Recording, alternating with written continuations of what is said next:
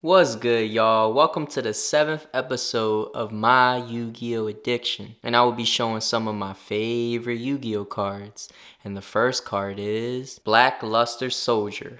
Envoy of the Beginning. That's right, guys. The first edition. LCYW. Black Luster Soldier. Envoy of the Beginning from Legendary Collection Yugi's World. Look at how beautiful this Black Luster Soldier is. I think that this is the best Black Luster Soldier Envoy of the Beginning out of all of them. Most people would say that the IOC one or the Collector Rare is the better one. But for me, I think this is the best one because I feel like this one looks the best. The IOC one is definitely definitely also a very nice version. You know, I just really like this version. And also every card in Legendary Collection Yugi's World are just printed super nice. Like the quality on these cards are next level. This is definitely a really, really nice Black Luster Soldier. And the next card is Gaia, the Fierce Knight. Ah, That's right, guys. Is the first edition. Gaia, the Fierce Knight from Legendary Collection Yugi's World. This is also a very nice version of Gaia the Fierce Knight, and definitely one of Yugi's most powerful cards. Of course,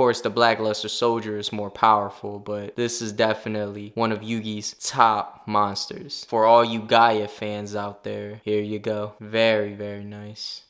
Wow. And now we have the Summon Skull, also from Legendary Collection, Yugi's World. And of course, first edition. One of Yugi's top monsters, yet again. A very underrated card from back in the day. But yeah, I would say that this is better than Dark Magician because it only required one tribute to summon this monster. Very underrated card and a very powerful card. And the next card is Marshmallon, the unbeatable card when it comes to trying to destroy it by battle. And also a very, very good card back in the day. But now it's not so powerful. With the way some of the new cards are and their effects, this would easily get destroyed. But back in the day, it was almost indestructible. And the next card is Kuriboh. I know this was also in another episode, but that one was from Forbidden Legacy. But this one is first edition from Legendary Collection, Yugi's World, and is one of my favorite Yu-Gi-Oh sets. And the highlight of the episode today is the first edition Black Luster Soldier Envoy of the Beginning from Legendary Collection Yugi's World. That's right guys,